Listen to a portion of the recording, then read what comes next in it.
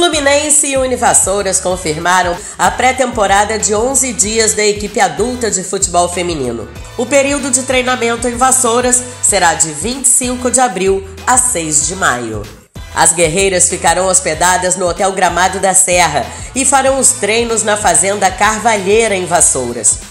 Primeira patrocinadora master do futebol feminino tricolor, a Universidade de Vassouras é uma das instituições mais tradicionais de ensino superior do estado do Rio de Janeiro e vai proporcionar às nossas jogadoras toda a fase final da pré-temporada.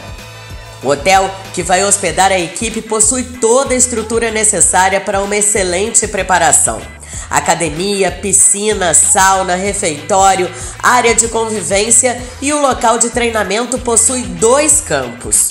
A gerente de futebol feminino do Fluminense, Amanda Stork, falou sobre a importância de concluir a preparação com toda essa estrutura. Carla, vai ser um ganho muito grande, não só na parte técnica, nessa reta final de preparação para a nossa estreia no Brasileiro, mas também a gente está no, universo, né, estar em Vassouras, estar no habitat da Universidade de Vassouras, nosso patrocinador, e que está muito feliz em nos receber. Preparou todo o ambiente para receber as meninas, vai ser incrível e eu tenho certeza que com uma estrutura dessas e com toda essa alegria da Universidade de Vassouras em nos receber, com certeza a gente vai conseguir o acesso agora em 2022.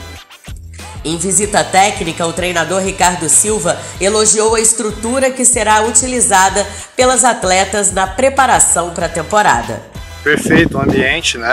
A gente consegue sentir a atmosfera aqui de muita tranquilidade, que proporciona para o atleta, né, o foco, né, e a questão da atenção voltada toda para dentro do treinamento. A estrutura maravilhosa, o espaço muito bom para atividade né, e a gente vai tentar fazer com que esse período ele seja muito bem aproveitado para que elas tenham uma oportunidade grande aí de sucesso.